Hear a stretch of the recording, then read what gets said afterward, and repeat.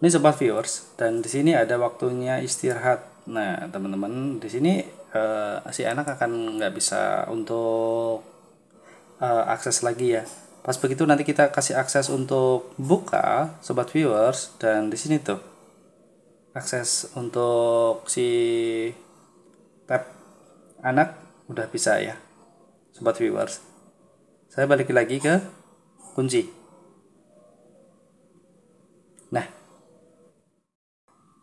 Assalamualaikum warahmatullahi wabarakatuh. Kembali lagi di channel Bijongke Buat kalian yang baru pertama kali mampir di channel saya Jangan lupa pencet tombol subscribe-nya dulu ya Agar tidak ketinggalan update-update video terbaru dari Bijongke channel Dan saya lebih semangat lagi dalam buat konten ya.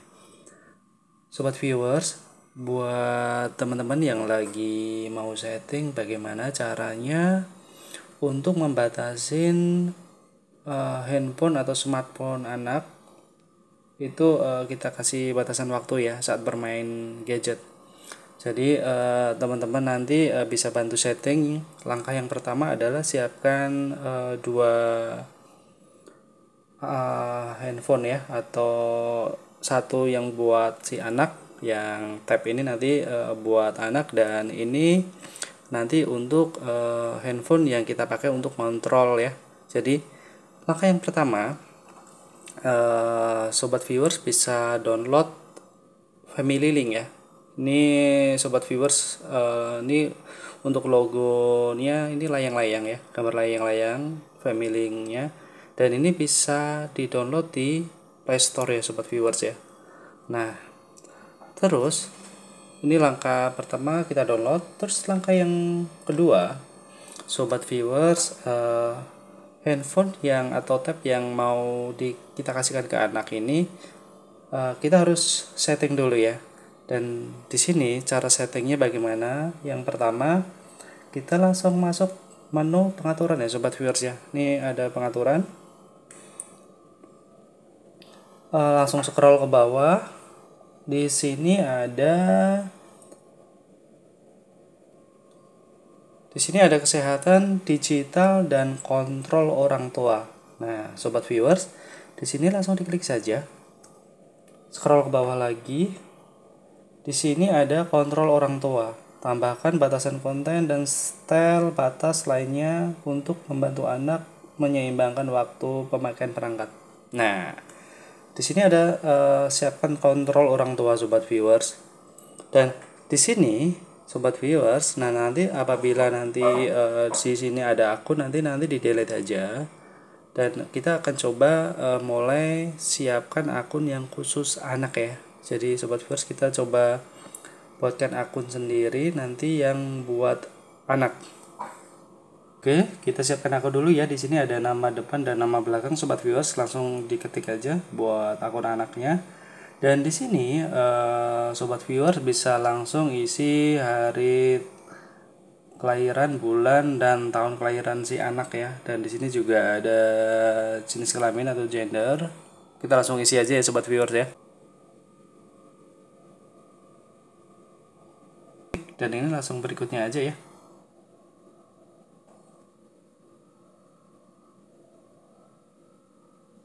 Ini langsung di next saja sobat viewers. Scroll ke bawah dan di sini langsung uh, klik saya setuju ya sobat viewers ya. Ya so di sini centang semua dulu. Ya centang langsung setuju ya. Nah, ini uh, untuk kata sandi akun orang tua ya, sobat viewers bisa langsung dimasukin saja. Oke, ini udah saya ketik kata sandinya dan langsung berikutnya aja.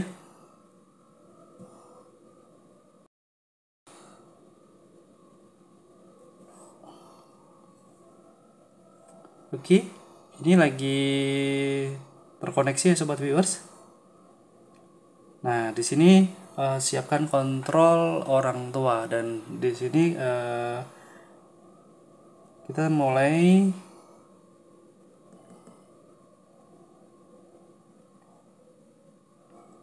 ini beberapa setelan sobat viewers dan uh, kita langsung berikutnya aja ya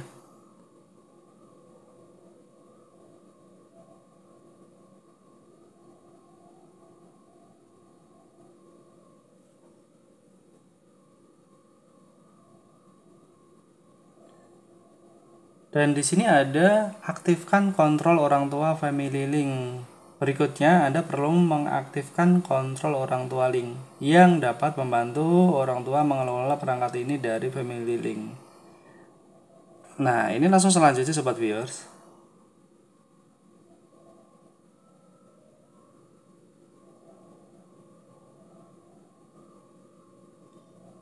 Nah, di sini ada uh, izinkan pengawasan ini langsung klik izinkan ya.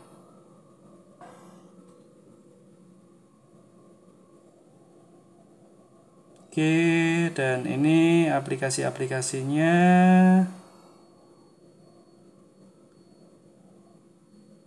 Mana yang boleh, mana yang enggak nanti sobat viewers bisa di uh, checklist ini aja ya.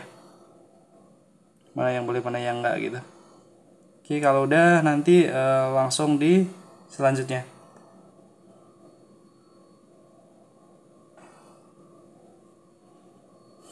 Oke. Selanjutnya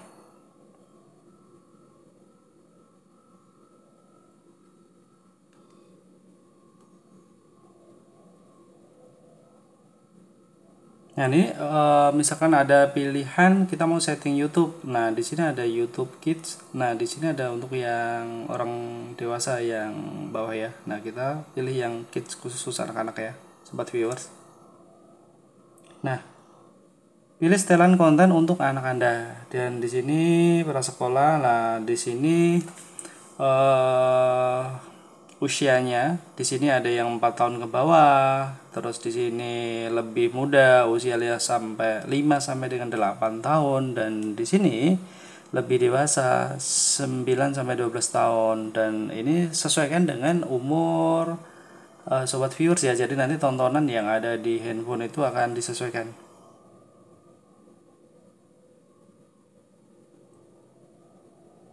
aktifkan penelusuran Oke, berikutnya.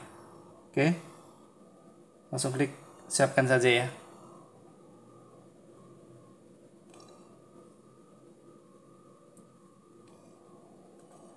Oke.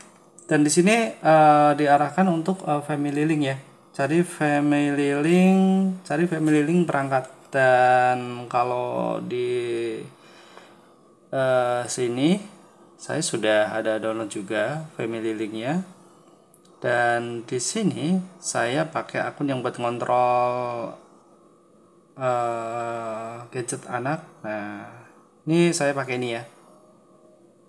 Langsung kita izinkan untuk memberikan notifikasi kepada kita. Ini izinkan. Dan di sini nah di, terkoneksi dengan Redmi Pad SE ya oke. Teman-teman nanti bisa cek di sini semua ya. Jadi bisa diedit dan lain sebagainya. Kita coba waktu pemakaian perangkat. Nah dari sini nanti teman-teman bisa uh, setting nih. Bisa disetting. Di sini ada harinya juga. Nanti teman-teman bisa nyeting waktu berapa lama eh, anak-anak uh, nanti main gadget. Oke, okay, sobat viewers, dan di sini di akun anak tadi uh, tinggal klik setuju aja ya, sobat viewers ya. Kita lanjut dulu ya, yang untuk settingan di handphone anak ini ya.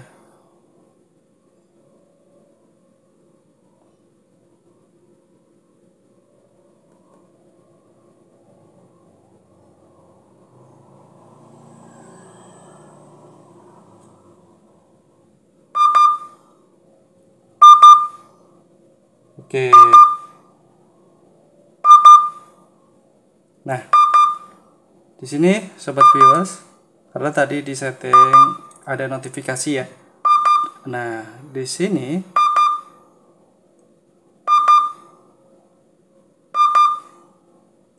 Oke. Ini ada tulisan waktunya istirahat ya sobat viewers ya. Jadi eh, kalau kita memberikan bonus waktu kita bisa setting ya di sini ada waktunya nanti teman-teman bisa disesuaikan. Ini misalkan uh, anak mau make di luar jam yang sudah kita tentukan ini udah kekunci. Jadi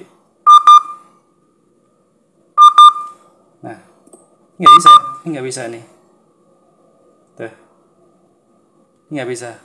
Kekunci ya sobat viewers ya dan misalkan saya coba pakai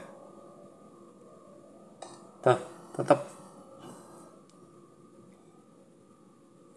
di sini ada pilihan untuk izin orang tua lagi ya sobat viewers.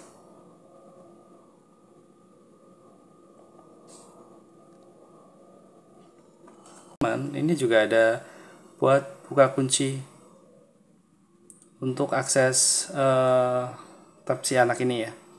Jadi di sini bisa disesuaikan untuk buka kuncinya. Ini membuka kunci. Nah sobat viewers ini Redmi kalau pas saat saya di sini klik untuk buka kuncinya ini udah bisa anak-anak si anak udah bisa pakai ya. Toh. Ya anak-anak ini udah bisa langsung pakai tuh bisa langsung biasanya kan anak-anak kan main game dan lain sebagainya tuh nah itu udah bisa pakai lagi nanti teman-teman bisa ngatur dari sini sobat viewers ya Sekian tutorial dari Bicungge Channel untuk cara mengatur gadget si anak atau membatasi waktu anak bermain gadget ya. Jika video ini bermanfaat, jangan lupa pencet tombol subscribe-nya ya. Aktifkan loncengnya agar tidak ketinggalan update-update video terbaru dari Bicungge Channel. Sekian. Assalamualaikum warahmatullahi wabarakatuh.